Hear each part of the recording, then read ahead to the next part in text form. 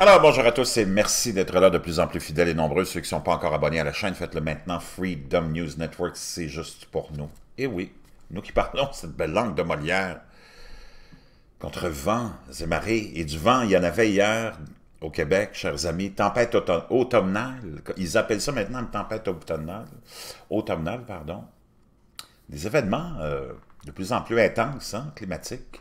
On est dans une période de changement climatique intense, qui n'a rien à voir avec l'activité humaine, c'est cyclique. Et c'est généralisé, on le voit, vous le voyez en Europe, on le voit en Asie, on le voit en Afrique, on le voit dans l'hémisphère sud. Et il n'y a pas grand-chose qu'on puisse faire, honnêtement, sauf se préparer et subir. Mais il y a des politiciens qui essayent de laisser miroiter aux populations qu'eux, ils sont capables de, de quoi? D'arrêter les changements climatiques? Avez-vous vu la dimension juste de la terre, du ciel, de l'espace. Ces gens-là sont euh, vraiment dans une dimension à part, c'est le cas de le dire. On est le 2 novembre, déjà le 2 novembre 2019, 6 heures pile l'heure du Québec. On va aller voir, chers cousins français, amis européens, mes compatriotes québécois, les voisins canadiens et tous les autres, que je salue de partout, de l'hémisphère sud, il y en a beaucoup, de l'Asie, il y en a aussi, au Japon, entre autres, des abonnés.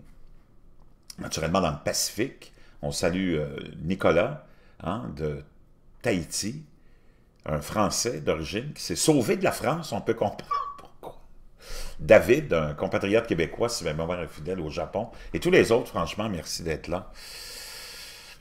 On va aller voir ça, ça va vous donner une idée de l'ampleur. Moi, je sais qu'au travail, hier, euh, j'étais au travail euh, à Laval et plein d'événements se sont produits à Laval. D'abord, tous ceux qui ont des tempos qui n'étaient pas bien attachés sont partis euh, hein, euh, chez le voisin. C'est cet abri d'auto, les cousins français les Européens et les autres, que l'on installe à partir du 15 octobre pour se protéger de la neige et pour avoir des voitures euh, qui ne sont pas enneigées hein, le matin avant de partir pour le travail. Donc, les tempos, c'est cet abri. Et il y en a plein qui se sont envolés euh, à Laval, entre autres, parce que les gens venaient à peine de les installer, ils les avaient pas bien amarrés au sol. Des murs qui se sont effondrés hein, sur des voitures. En tout cas, il y a eu plein d'événements. Le fils d'un de, mes patrons, qui est dans une école élémentaire, ont dû être évacués parce que le toit s'est fait arracher. Les enfants paniquaient. C'était quelque chose d'exceptionnel. On a souvent au mois d'octobre, euh, novembre, des périodes de vent, mais hier en était une exceptionnelle, exceptionnellement forte, parce que ces changements climatiques-là s'intensifient hein, d'année en année depuis trois ans, avec le minimum solaire, le grand minimum solaire, selon plusieurs, la haute atmosphère qui est déréglée, la magnétosphère qui est affaiblie, le soleil, un hein, minimum solaire, euh, nous envoie des tempêtes géomagnétiques, euh, pas si puissante que ça, mais remplie d'électrons, protons et de tout ce que vous voulez, d'énergie. Et comme la Terre est incapable de les bloquer avec une magnétosphère euh, affaiblie, ben, apparemment parce qu'on est en renversement de pôle, ben, avec cette magnétosphère affaiblie, la haute atmosphère est déréglée, les courants jets sont déréglés. Vous le voyez, je n'ai pas besoin de vous convaincre. Hein. Donc, on va aller voir ça.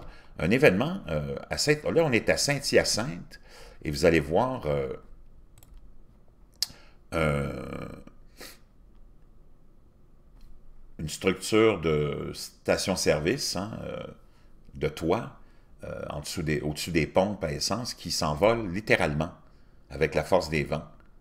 Quand même des structures assez solides. Ben, et voilà. Ça, on est à Saint-Hyacinthe hier.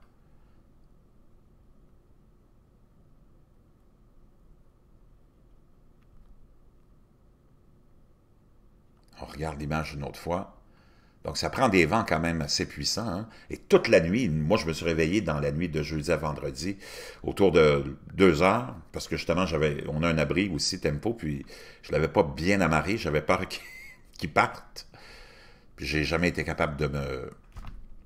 jamais été capable de me rendormir euh, par la suite avec, euh, je peux vous dire, la, la force des vents, euh, c'était vraiment intense. Donc, on est avec des centaines de milliers de gens qui ont été aussi euh, sans électricité. Les forts vents ont entraîné hein, de nombreuses pannes de courant. En fin de soirée, un peu plus de 650 000 clients d'Hydro-Québec étaient toujours privés. Pas moins de 1000 employés de la société d'État travaillaient à rétablir le réseau. Donc, on était vraiment euh, dans un, un état de crise euh, des plus majeurs, des plus importantes, depuis la fameuse crise du verglas. Et on avait des lignes qui étaient euh, complètement, complètement... en prix club cette semaine. Qui étaient complètement arrachées Éric Fillon a expliqué que lors de la crise du verglas en 98, c'était une partie du réseau de transport qui apporte l'électricité des barrages vers les centrales, les centres, qui avait été détruite. Ça avait pris des semaines, hein, on se rappelle, pour y reconstruire. Donc, euh, énormément, énormément, énormément, partout, partout, on a eu des, ça c'est les fameux murs dont je vous parlais, qui se sont, euh, partout, des murs de briques, hein, se sont effondrés, euh, des toits se sont fait arracher. Les abris dont je vous parlais, hein, Tempo, qui se retrouvent chez les voisins. des toits qui se sont fait arracher. Énormément de photos hein, ont circulé. Toutes sortes d'affiches publicitaires quand même solides hein, qui se sont faites complètement...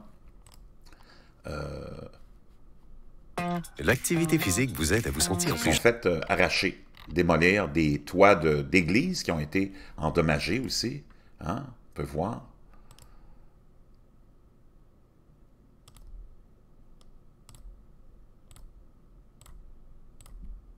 Beaucoup, beaucoup de dommages suite à cette fameuse tempête.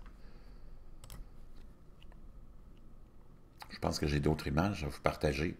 Donc, c'est une réalité, hein, qui personne n'est à l'abri euh, on voit ces images-là, hein, depuis il y a plusieurs années, on voyait ces images-là dans les, coins de pays comme les États-Unis, certaines régions, on est habitué aux, ouragans, euh, aux tempêtes euh, tropicales. On peut voir l'eau ici, hein, à Montréal, je pense que c'était à Montréal, ça, où les vagues puissantes de ces lacs, on ne parle pas de mer et d'océan ici, là.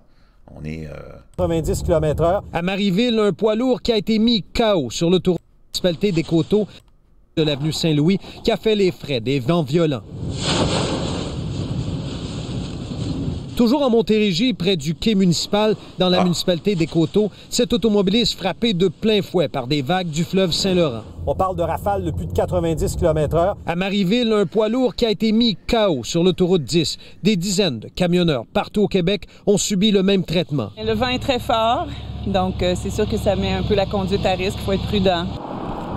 Je vous amène à Longueuil, en bordure du boulevard Tachereau, près de Curé-Poirier. On a entendu un gros boom, puis euh, on a voulu ouvrir la porte, puis on a vu qu'il y avait des briques de tomber. Plus de peur que de mal pour des employés qui se trouvaient dans cet immeuble quand un pan du mur de briques s'est effondré sur le trottoir. C'est assez, oui, euh, surprenant.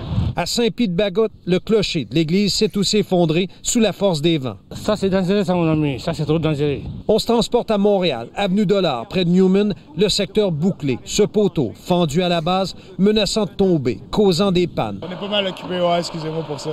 On vous comprend très bien, allez-y. Ouais, puis si ça, ça tombe, c'est pas le fun non plus. ça risque d'être long, nous dit-on, du côté de québec Moi, je sais, je, je m'en vais au gym, je m'en vais passer le temps là un peu. Ailleurs en ville, une accumulation d'eau importante s'est créée sous un viaduc de la rue Hochelaga. Certains automobilistes ont osé s'y aventurer, noyant le moteur de leur véhicule. Je suis trouvé au, milieu de, la caduque, là. Ça ne fonctionne plus. Bon, Yves, depuis les dernières heures, le bilan qui tend à s'améliorer. Donc, beaucoup, beaucoup de, on peut voir, hein, de, dommages. Donc, c'était euh, assez généralisé euh, au niveau de toute la province. Je peux, vous dire que même euh, ces images-là, si c'est... on a vu ces mêmes images-là, ça c'est à Trois-Rivières, mais à Laval, on a eu les mêmes images. On peut voir l'affiche de McDonald's, hein, sont complètement arrachés, des arbres arrachés, des pans de murs qui sont tombés. À Laval, bon, mais c'est celle-là, moi, que j'avais vue. Un client m'avait montré cette, justement cette image-là. Donc, on peut voir des arbres arrachés, tomber sur des pierres tombales, d'autres devant des euh, maisons, sur des voitures, euh, des routes euh, qui ont été vraiment endommagé hein, au lac Brome. Donc, tempête majeure. Vraiment, signe des temps, n'est-ce pas? Juste pour vous donner une idée de ce qui est arrivé ici au Québec hier, dans la nuit de jeudi, jusqu'à toute la, toute la journée hier, ça soufflait et ça soufflait. Juste pour vous donner une idée de ce que je vous dis depuis toujours, ceux qui me suivent hein, depuis un bout de temps et depuis plus longtemps, il n'y a personne qui va être à l'abri de ces changements-là. Moi, j'ai 56 ans. Il y a même juste 10 ans, jamais on aurait pensé qu'on serait euh, quotidien, ben, euh, pas, euh, pas de façon quotidienne, mais presque soumis aux intempéries euh, intensifs et aux changements climatiques chez nous. Chez vous, en Europe, c'est pareil. Hein? On se pense à l'abri des tremblements de terre, de ceci, des tempêtes euh, violentes. Ben non, c'est pas réservé maintenant juste à ces, coins de pays où on était habitué à des cycles hein, d'ouragans, de, tornades. Maintenant, il euh, n'y a plus personne qui est à l'abri, puis ça vient te surprendre euh, sans préavis. Donc, c'est un passez-y bien. Il faut se préparer au pire. C'est ce que je dis souvent, puis j'ai... Il y a des gens, des fois, qui, prennent ça à la légère, mais moi, je vous dis, préparez-vous au pire.